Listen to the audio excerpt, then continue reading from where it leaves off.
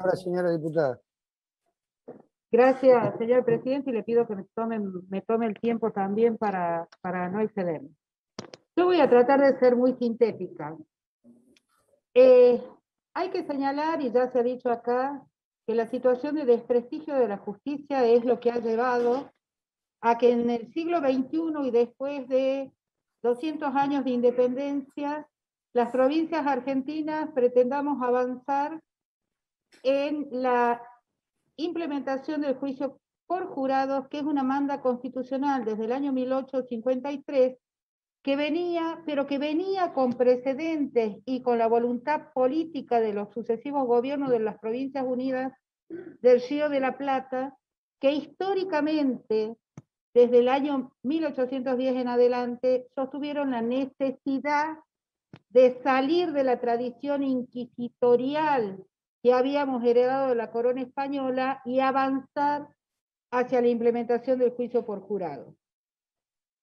Si la justicia no estuviera tan desprestigiada, si la justicia no se hubiera transformado en una corporación alejada de la gente, el reclamo de una justicia más transparente, más cercana a la gente y más democrática no se haría oír cotidianamente por parte de quienes padecen a la administración de justicia.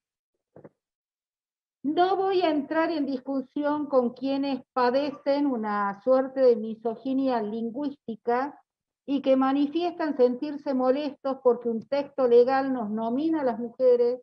nos nombra a las mujeres y nos reconoce derechos a las mujeres. Con ese criterio durante siglos hemos sido invisibilizadas, se nos han negado todos los derechos, no éramos ni siquiera dueñas de disponer de nuestros bienes ni de nuestros cuerpos, y encima se nos negaba el derecho al sufragio. Pero como el peronismo siempre amplía derechos, seguimos trabajando para esa ampliación de derechos.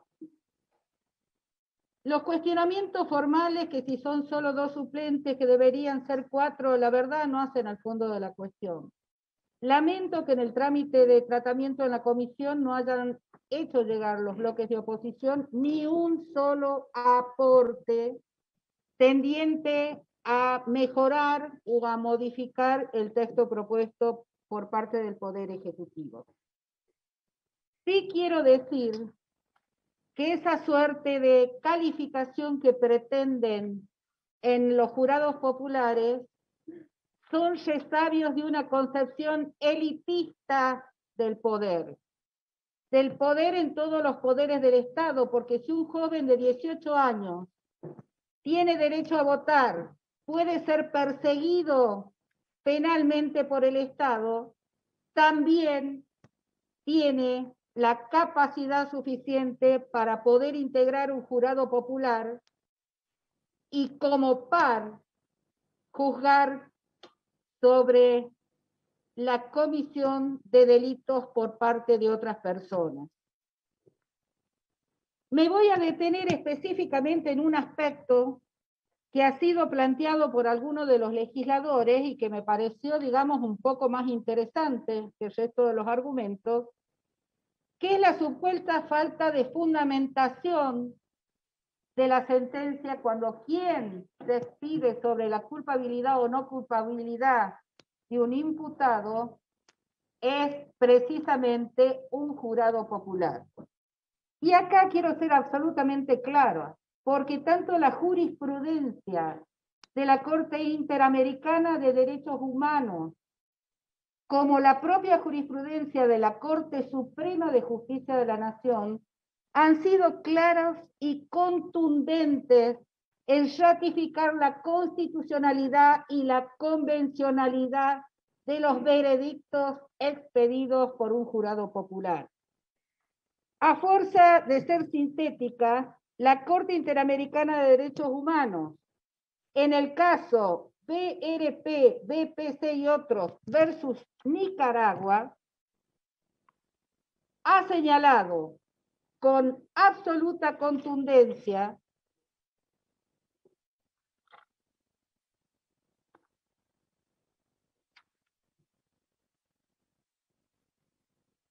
que la falta de exteriorización de la fundamentación del veredicto no vulnera en sí mismo la garantía de la motivación. Este fallo es del 8 de marzo del año 2018 y dice la Corte Interamericana, en efecto, todo veredicto siempre tiene motivación, aunque como corresponde a la esencia del jurado, no se expresa. Pero el veredicto debe permitir que a la luz de las pruebas y el debate en la audiencia, quien lo valora pueda reconstruir el curso lógico de la decisión de los jurados, quienes habrían incurrido en arbitrariedad solo en el supuesto de que esta reconstrucción no fuera viable conforme a pautas racionales. La Corte Suprema de Justicia de la Nación en el año 2019, de la Nación Argentina, más precisamente el 2 de mayo del 2019, dicta sentencia en la causa Canales y señala la exigencia de motivación de la sentencia de los jueces profesionales fue concebido originalmente como un modo de compensar la debilidad institucional y la falta de garantías de estos magistrados respecto de los jurados populares. Así, la fundamentación explícita encuentra su razón de ser en la obligación de los jueces profesionales como representantes del pueblo no electivos en el ejercicio de un poder del Estado de rendir cuentas de sus decisiones. Es distinto cuando el mismo pueblo, representado por algunos de sus miembros, ejerce en forma directa la potestad de juzgar siempre que estén garantizados el derecho a la defensa del acusado y el debido proceso legal por parte de un juez profesional. No quiero cansarlos con fallos judiciales, pero también el Tribunal Europeo de Derechos Humanos tiene una proficua jurisprudencia sobre la constitucionalidad del juicio por jurado y sobre la innecesariedad de que esa fundamentación o esa motivación sea realizado por escrito como hoy se conoce en una sentencia de los jueces profesionales. Y el, último cuestionamiento, que me parece que va a contramano de la tendencia a nivel nacional y de lo que, de lo que recomiendan los más calificados tratadistas, es el tema de que algunos colegas algunos diputados han planteado eh, su cuestionamiento al recaudo de la unanimidad, tanto para decidir, para que el jurado decida la culpabilidad de un imputado o la no culpabilidad de un imputado. Y justamente la exigencia de la unanimidad es indispensable en miras a llegar a decisiones de calidad prácticamente incuestionables. Porque son 12 personas comunes, seleccionadas por sorteo y después de todo el procedimiento que, el mismo proyecto establece, que accidentalmente van a integrar el jurado y que van a deliberar hasta superar cualquier diferencia que tuvieran y alcanzar una decisión unánime. Justamente una de las bondades que tiene el presente proyecto de ley es precisamente que exige la unanimidad para el fallo, para obtener el veredicto del jurado. No es una debilidad, señores diputados y señoras diputadas, es todo lo contrario, es una de las mayores bondades